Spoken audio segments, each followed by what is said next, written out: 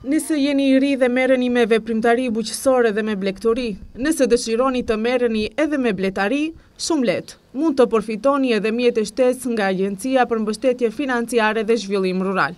Kjo agjenci rithekson se thirrja për shfrytëzimin e këtyre fondove për bujqët e rinj deri në moshën tridhjetë e pesë vjeçare dhe ata të cilët merren apo dëshirojnë të merren me bletari, Është e hapur deri në tre mars. Si kushte paraprake që një bujk të arrijë deri te këto subvencione, deri te këta mjete, është që duhet të regjistrohet në Ministrinë e Bujqësisë, të merr numër të caktuar si veprimtari bujqësore që zhvillon. Nuk do të thotë që bujku duhet ta ketë veprimtari kryesore, por domethënë duhet që gjithsesi te bujqet e rinj, domethënë duhet të jenë të papunë dhe të pretendojnë që duan të bëhen bujq.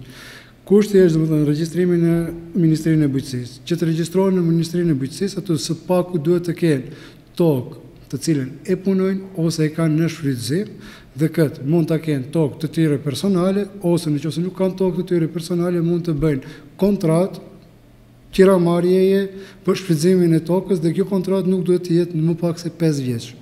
Si argumente duhet të ofrohen edhe prova për posedim të bagëtive, por edhe profatura për mekanizmat e siguruara bujqësor. Mirëpo, zoti Halili tërheq vërejtjen. Konkurrimi doemos duhet të bëhet në rrugë elektronike, që nënkupton hapjen e një e-maili dhe grantet janë të plota qind për qind. Ndërkaq, për bletarët e tashëm, por edhe ata potencialë, afati i konkurrimit është deri në dhjetë mars. Është për bletari. Edhe këtu domethënë mund të fitohen të drejtat për bletë, gjithsesi të asaj bazës amë, bletës amë, domethënë marrjes së bletës amë, po plus edhe pajisje për bletari duke llogaritur koshat për bletë dhe gjitha pajisje tjera.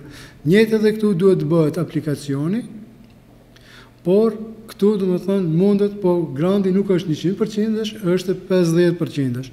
E tëra e këtyre punëve është se në fillim bëhet investimi i tërë nga pjesa e bujkut dhe më vonë mandej kthehet gjysma e mjeteve. Mësohet se gjatë vitit të kaluar nga gjithsej njëqind e pesëdhjetë milionë euro për vendbanimet shqiptare janë ndarë tridhjetë e pesë milionë euro. Kjo shumë në vendbanimet rurale shqiptare ka bërë të mundur zgjerimin e tokave bujqësore, rritjen e fondit të kafshëve, një prodhimtari më cilësore, si dhe nxitjen e industrisë përpunuese. Edhe me buxhetin për këtë vit, janë ndarë njëqind e pesëdhjetë milionë euro për subvencione. Epërsi kanë prodhuesit e verërave, duhanit, fruta, perime, si dhe të kultivuesit e gjedhëve e të dhenve, mishin e qengjit e të tjerë. Projektet do të vlerësohen dhe epërsi, krahas kushteve të përcaktuara, kanë ata që lidhen me zonat rurale.